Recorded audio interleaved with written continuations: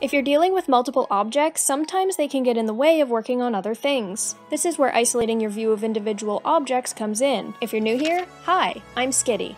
Let's get 60 seconds on the clock and learn how to isolate our objects, starting now. With multiple objects in view, select the one you want to isolate, go up to the Show tab, hover over Isolate Select, and hit View Selected. Alternatively, we can hit Ctrl 1 to toggle isolation on and off. To have newly created objects visible while isolated, go back to the Show tab, hover Isolate Select, and check the box beside Auto Load New Objects. We can also auto load selected objects, change our isolated objects to a new set with load selected objects, add objects to the current isolation set with add selected objects, and remove them with remove selected objects. You can also bookmark your isolated view if you think you'll need the same set later. And that's all of the isolation tools. Leave a comment below if there's something you didn't understand, like and subscribe if you learned something, links to socials are in the description, and remember to always use a reference.